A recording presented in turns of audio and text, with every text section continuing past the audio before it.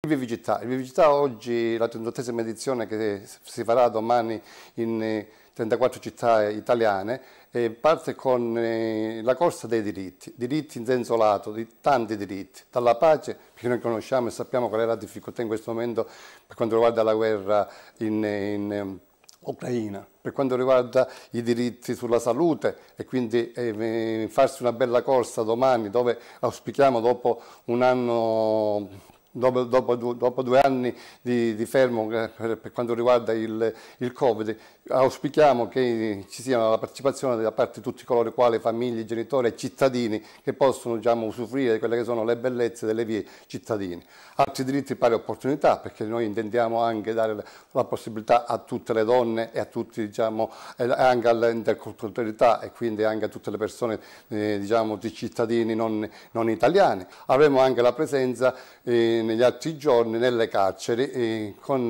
la denominazione città, eh, Vivicità Porte Aperte. In Sicilia, grazie a un progetto diciamo, dove siamo capofila come WISP Sicilia, un progetto che si chiama Progetto Giocare per Diritti, siamo entrati in, in, in otto istituti penitenziari in cui dal progetto stiamo cercando di creare delle aree giochi dove permetteranno ai genitori e ai figli di incontrarsi e questo ci ha aperto diciamo, la possibilità affinché nei sette comitati, eh, nei sette istituti penitenziari tipo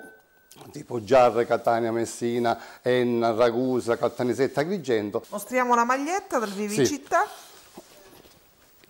Questa è la maglietta che eh, domani materialmente l'organizzazione eh, darà a, ai partecipanti e sarà anche un modo come un altro per, per, fare in modo che tutte le persone partecipanti possano essere presenti e abbiano una, visibil una, una, una visibilità uguale per tutti.